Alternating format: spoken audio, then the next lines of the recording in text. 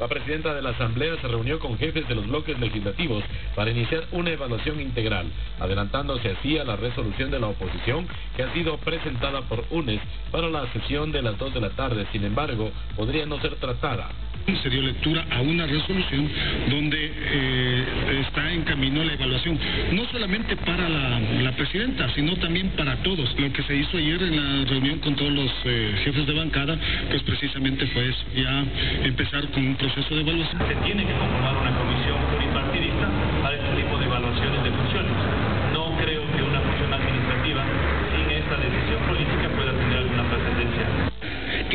que se respete el procedimiento parlamentario. Hemos identificado que dentro de esos cambios del orden del día hay inconsistencia en las firmas, porque dentro de dos cambios del orden del día se cambian las firmas y eso no se puede.